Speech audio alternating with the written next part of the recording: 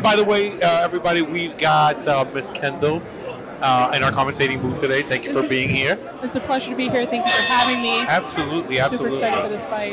Yes, taking the legs out automatically. So this is something that I'm seeing new now in this event, where people are aiming more for the legs than they have been in the past. It's a technical knockdown, right? Well, I do know that they get they get points for it, and and, and we've brought this up in, uh, in, this, in this broadcast earlier today. This, unlike boxing, you are able to accumulate points. So I guess you do want to go for those uh, for those uh, leg uh, leg sweeps. Yeah, and Marcus has a very Marcus Perez has a very different handle hold. Right. He doesn't really like to grab the full pillow. He likes the corner. He can get a bit more reach, but Marcus Brimage obviously having the full effect with the three straps right there. So when you swing with that thick, bundled up pillow, Right, it's a right. pack, it's a very big punch behind So, it. do you think that uh, that uh, Marcus, uh, with the one grip, has a better chance of getting? No.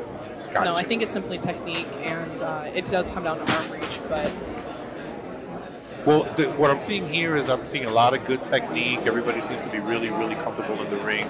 These guys have experience. they're not going to back down from literally anything or any Right. swing. Well, I think I'm seeing the- a lot of spinning here too, and I- Marcus uh, Brimage is extremely technical with that. I always see a lot of um, agility work from him. Right, Both. right, right, right. And by the way, for everyone who's listening to Kendall, I mean, she's got a lot of experience in the in the ring with pillow fighting, so she could definitely give us an insight as to what these guys are going through, what they're trying to do, and what the outcome should be. So uh, we had a really, really exciting first round, and I'm gonna tell you, I mean, uh, and I, I've said it before with people who sit here next to me. You get into that ring and you think that you're just gonna go and swing a pillow. You've got another thing coming to you. It's a whole new world. Absolutely, absolutely. Getting ready for round two. Uh, I expect to see a lot of the same. And uh, Mar- Marcus Perez, um, really, really comfortable in there. He loves the entertainment po- portion of this. He's a showboat.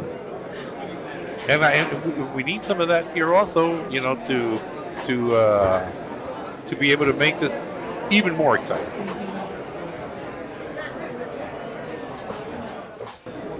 I'm surprised I haven't seen many golf swings. Well, again, with these guys that are more experienced, I mean, they choose their they choose their swings, and you know what? You're right. I mean, you got these two UFC fighters, and you could see the difference. They're so powerful. You could definitely see the difference.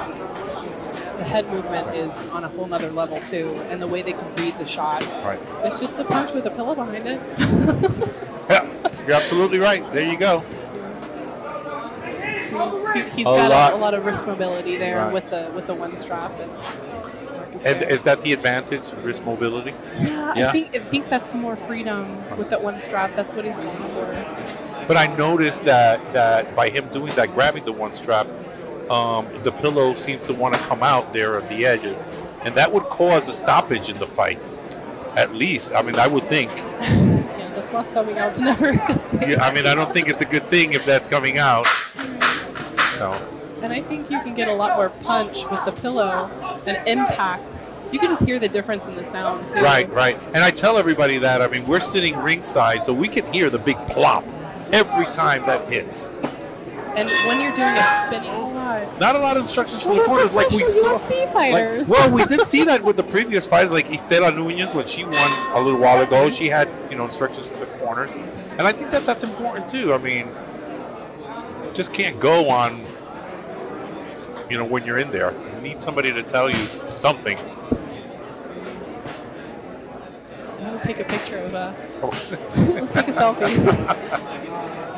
Brimage is coming in. Brimage is currently a bare knuckle fighting championship professional fighter, and his next fight, I believe, is in April. Um, and there's with no B, with BKFC. with BKFC. There's no Really? conflict here.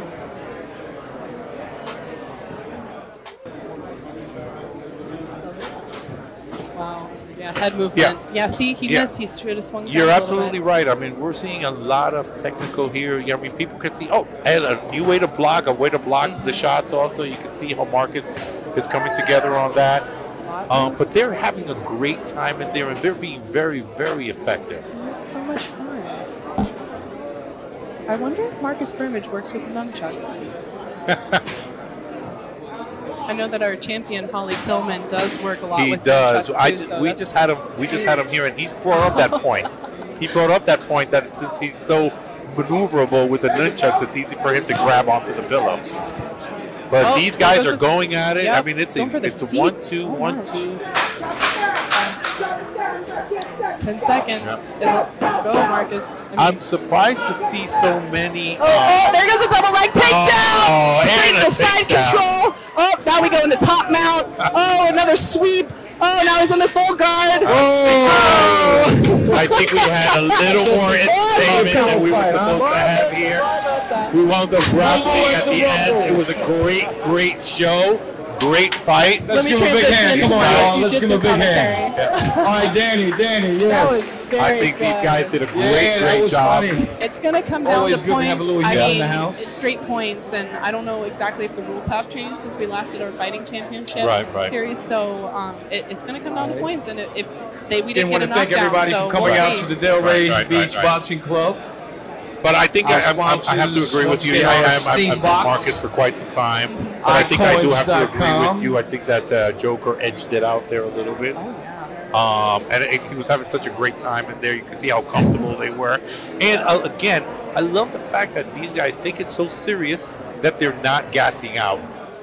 That they're not gassing out. We're not gonna see that with the UFC veteran. Absolutely not. Absolutely not. All right, Decision. give me-